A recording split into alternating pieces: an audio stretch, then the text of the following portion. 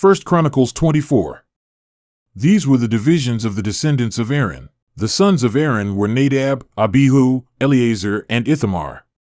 But Nadab and Abihu died before their father did, and they had no sons, so Eleazar and Ithamar served as the priests.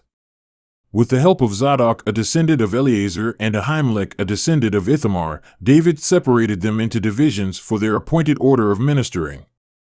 A larger number of leaders were found among Eleazar's descendants than among Ithamar's, and they were divided accordingly 16 heads of families from Eleazar's descendants and 8 heads of families from Ithamar's descendants.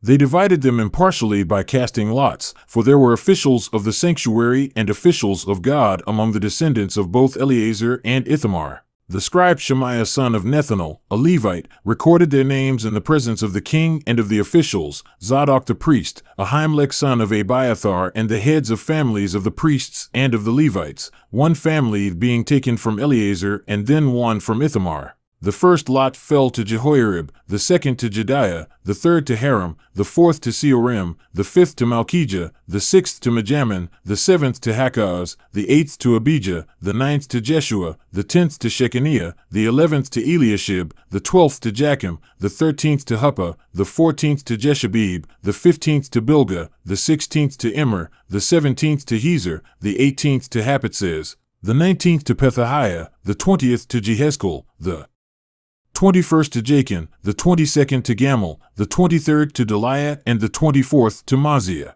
This was their appointed order of ministering when they entered the temple of the Lord, according to the regulations prescribed for them by their ancestor Aaron, as the Lord, the God of Israel, had commanded him. As for the rest of the descendants of Levi, from the sons of Amram, Shubael, from the sons of Shubael, Jehdeiah.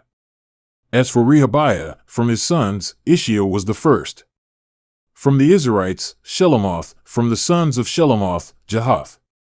The sons of Hebron, Jeriah the first, Amariah the second, Jahaziel the third, and Jekameam the fourth. The son of Uzziel, Micah, from the sons of Micah, Shamir. The brother of Micah, Ishiah, from the sons of Ishiah, Zechariah. The sons of Merari, Mahli and Mushi. The son of Jaaziah, Beno. The sons of Merari, from Jaaziah, Beno, Shoham, Zakkur, and Ibri. From Mahli, Eleazar, who had no sons. From Kish, the son of Kish, Jerahmeel. And the sons of Mushi, Mahli, Eder, and Jerimoth. These were the Levites, according to their families. They also cast lots, just as their relatives the descendants of Aaron did, in the presence of King David and of Zadok, Ahimelech, and the heads of families of the priests and of the Levites. The families of the oldest brother were treated the same as those of the youngest.